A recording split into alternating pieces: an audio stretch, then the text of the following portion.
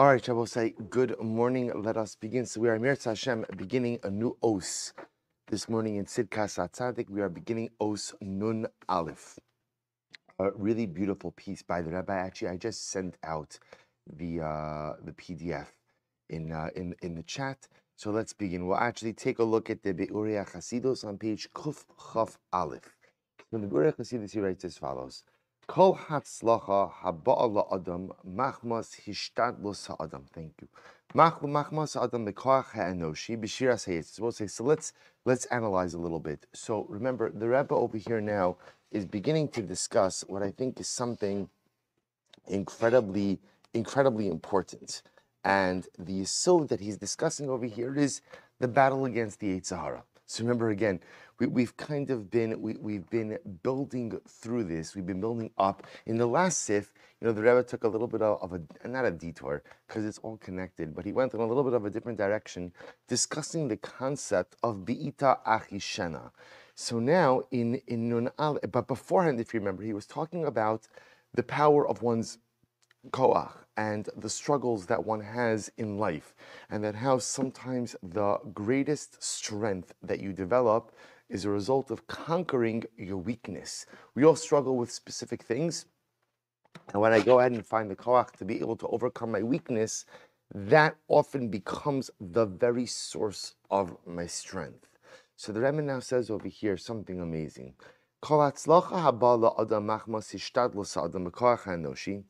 Any success I have, any success I have, let me, let me, let me translate this a little bit out of order. Bekoach anoshi b'shviras hayetzer hara, milamale es chafetzo uritzono betavas haguf. So I'm saying, I have a particular desire, a particular taiva, and I fight against that taiva. I go ahead and literally I, I, do battle against it. And I'm able to overcome that taiva. And the way I'm able to overcome it, ultimately again, is through hishtadlos ha'adam, through through human effort. So I struggle with something, I struggle with a type, with a particular desire, and I work hard to overcome it. And I'm able to overcome it. I'm able to resist the temptation of sin, and I'm, and I'm able to do so literally through my own work, through my own resolve. Nik, listen, listen to this. Nikra v'nechshav lo hadavar be'enei HaKadosh Baruch Hu, rak lechein v'yofi bilvad. When HaKadosh Baruch Hu sees this, he says to himself, oh, that's very nice. That's very nice. L'chein v'yofi bilvad. Chein kishein nischono shalim. V'yofi kishen nischono shalva in a muchlat. So again, in the introduction, which which I did not go into over here, the Rebbe discusses the pasuk from Mishlei Sheker Achein v'hevel hayofi. But suffice it to say that chein and yofi refer to things that are very nice, but not but not complete, not complete. So we'll say, so we're going to read these words, and at first glance, this makes absolutely no sense. So what the Rebbe is saying is, if I struggle with a particular desire, and I overcome it. How do I overcome it? I overcome it through my ability to work on myself to resist temptation. So the Rebbe says that's very nice, but at the end of the day, at the end of the day, it's not complete. Not complete. Kimoshim avor lalan, Shumachuna b'shamayim sheker hachein vehevel hayofi. V'zemishum. So we'll say, so I don't understand what the Rebbe is describing over here. So just, just listen to what the Rebbe just said. If I struggle with a particular desire, and I find the strength within myself to be able to overcome that desire, and I resist the temptation to sin, I resist the temptation to go ahead and give in to my wants and desires, the Rebbe says that's very nice, but it's okay. It's okay. It's not great. What? Isn't what the Rebbe is describing over here the pinnacle of human accomplishment? The ability to resist temptation, the ability to resist desire, the ability to go ahead and want to do something, but yet not give in, not do so because because I'm able to overcome that. It, again, that's the pinnacle of human accomplishment. And here the Rebbe is describing that as something nice. So what's the pshat? I will say this is incredible. So why is it that he describes it as shet? Remember, so Hevel and Yofi, or I should say what the Rebbe says, sorry, Chen and Yofi, refers to things that are nice but are incomplete. So sheker achein vehevel hayofi.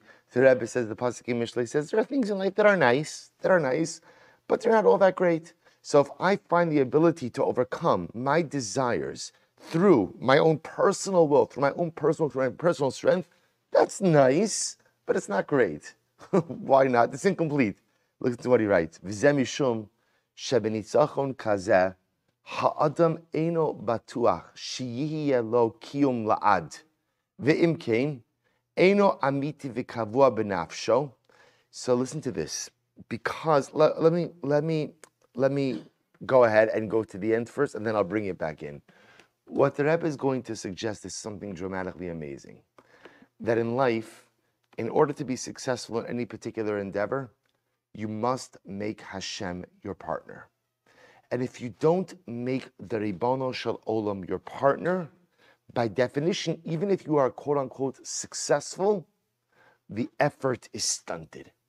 And even in working on myself, if I have a particular thing, I have a particular weakness, and I work on it and I overcome it, but I think that the work is all me, and I don't rely on HaKadosh Baruch Hu's partnership, and I don't rely on the Ribono Shel Olam to help me, and I don't realize that I can't be successful without him, that is a stunted effort. Even if it looks like I'm successful, the Rebbe says it's sheker hachein vehevel hayofi. It's nice, but it's fundamentally incomplete. So let's let's. I, I went ahead. Let's see it now inside. He says as follows: V'zemishum shemenitzachon kazeh. When a person is successful with something in life, or, and, and this this type of success, and this type of success that the Rebbe is describing is the type of success where you do it all on your own. You do not invite the Ribono Shel Olam to be your partner. It's hard to say that it's going to endure. It's hard to say that a success that in which man does not invite God to be a partner in his endeavor is going to be a successful one. Eno amiti v'kavua benafsho. Kihare, listen to this, because we know the way it works. Kihari hayetzahara, page kuf chaf aleph, left hand column. Kihari hayetzahara, niskaber u'mischadesh al ha'adam b'choyom the yetzer hara, will say, you know, this, the, the, interesting part, I mean, interesting, the challenging part of the Sahara is I could work on my, you know, most things in life, if you practice and you reinforce and you work harder and harder and harder, you become better, more proficient, and the task becomes easier. Interestingly enough, the one thing that does not work that way in life is ruchnius. Is ruchnius. Because at the end of the day, you could try, and I could put in effort, and I could put in good effort, but a person never reaches the level where they say, okay, Baruch Hashem, now I've put in so much effort that the Yitzhahara has been neutralized, right? There's nothing more. The only time the Yitzhahara is neutralized is when a person dies after 120. But the Rebbe is quoting the Gemara over here that the Yitzhahara is mischadish, is miskaber b'choyom. Every single day the Yitzhahara goes. Oh, so that's why sometimes we have these moments in life where we do something, we do something wrong, and I say to myself, I can't believe I did this. Right? I've been working so hard on myself and I've been good for so long and I have so many days of positive traction. I'm making so much. And now I did this. I did this. And then we look at it, I look in the mirror and I say, my gosh, it just seems so counterintuitive that I behaved this way. And it makes no logical sense. But that's because sometimes we approach the world of Ruchnius assuming that because I was good Monday, Tuesday, Wednesday, Thursday, that of course Friday should be easy. But that's not the way the world of Ruchnius works. It's Yisro, it's Yitzro Shal Adam Iskabra Alav B'chol Yom.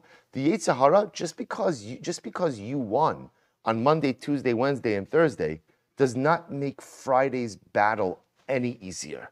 Any easier. Now the difference is now, once I overcome the Yitzhahara number of times, I know how it works. I know what my triggers are. I know what my weaknesses are. But at the end of the day, the battle is still the battle. And therefore the Rebbe says, V'im yom also. But it's very profound.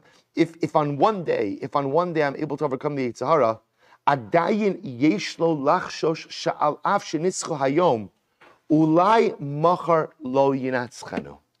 I'll say, what, what, a, what a profound statement just because I was successful today, I have to recognize that I may not be successful tomorrow. See, I was like, so th- this is sometimes the great mistake we make in Ruchnius, because like I said, like I said, in any other skill set in life, if I work hard, I build myself up, success today is a good indicator of success tomorrow. That's the way life works, right? Whatever it is, you fill in the blank, whatever skills you're building up in your career. If I have a successful day today, because I built a skill, I built a skill, chances are I'll be able to use that skill in a successful way tomorrow. That's just the way, right? Whatever the skill is, the one thing it doesn't work with is, is ruchnius. You could be, inc- I could be incredibly successful today. I could have a great day, and yet tomorrow, I could just make a dramatic mistake. And I, I, think, I don't know, maybe not. I know it happens to me all the time. I think it happens to us. And it's so upsetting.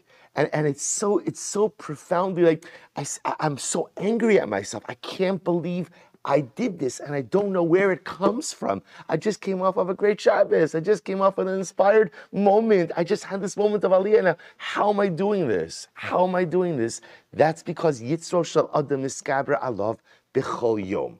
That's because the Sahara is the, the, the internal struggle is unlike anything else in this world. You can be successful for years and then have a dramatic failure that comes out of, I mean, not comes out of nowhere, nothing comes out of nowhere. But again, we'll, so we'll have to stop over here for today. I'm going to pick up with this in Meretz Hashem tomorrow, but you see where the Rebbe is going with this. That's why, in order to be spiritually successful in life, one must bring HaKadosh Baruch Hu as a partner. And therefore, anything that is done that a person thinks they do on their own, the Rebbe titles that as Sheker Hachein Veheval Hayofi. I want to be clear.